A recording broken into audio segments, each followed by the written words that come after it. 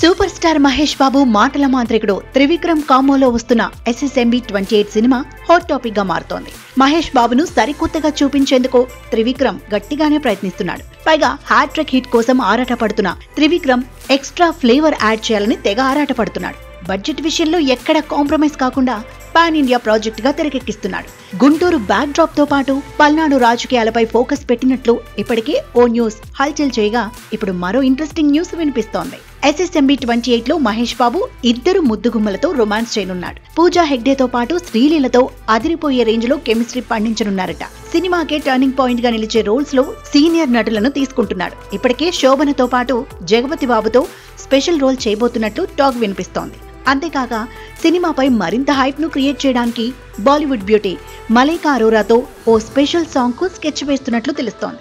ఇదిలా ఉంటే మహేష్ కోసం మరో బాలీవుడ్ బ్యూటీ కూడా కదలి వస్తుందన్న న్యూస్ హాట్ టాపిక్గా మారింది. మహేష్కు విలన్గా బాలీవుడ్ నటి ఐశ్వర్యరాయ్ బచ్చన్ను ఎంపిక చేయబోతున్నట్లు ఓ న్యూస్ తెగ చక్కర్లు కొడుతోంది. పొనియన్ సెల్వన్లో ప్రతినాయకురాలిగా మెప్పించడంతో ఎలాగైనా టాలీవుడ్కు తీసుకురావాలని త్రివిక్రమ్ ప్లాన్ చేస్తున్నట్లు తెలుస్తోంది. నెగిటివ్ షేడ్ ఉన్న రోల్ కోసం రీసెంట్గా మాజీ ప్రపంచ సుందర్ని అప్రోచ్ అవ్వగా గ్రీన్ సిగ్నల్ ఇచ్చినట్లు తెలుస్తోంది. మరి ఇందులో నిజమేంతో తెలియాలంటే మరి కొన్ని రోజులు ఆగాల్సిందే.